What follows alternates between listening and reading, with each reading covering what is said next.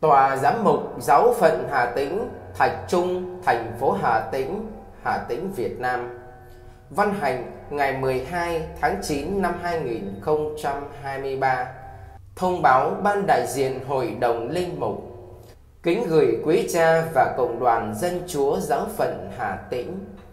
Căn cứ kết quả bầu cử ban đại diện trong cuộc họp Hội đồng Linh mục Giáo phận Hà Tĩnh nhiệm kỳ năm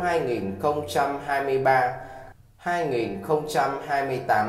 ngày 6 tháng 9 năm 2023 tại Tòa Giám mục Hà Tĩnh, căn cứ kết quả sắp xếp chức danh cho quý cha trúng cử trong cuộc họp ngày 11 tháng 9 năm 2023 của Đức cha giáo phận và 5 thành viên được Hội đồng Linh mục bầu chọn ngày 6 tháng 9 năm 2023 tại Tòa Giám mục Hà Tĩnh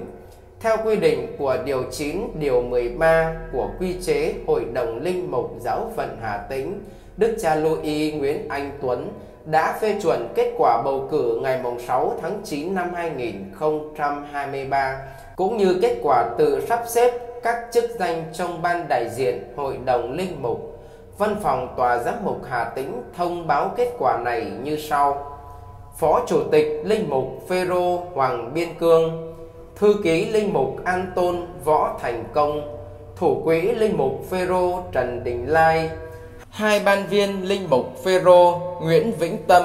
và Linh mục Phêrô Lê Thanh Hồng. Như vậy, Hội đồng Linh mục Giáo phận Hà Tĩnh nhiệm kỳ 2023-2028 bao gồm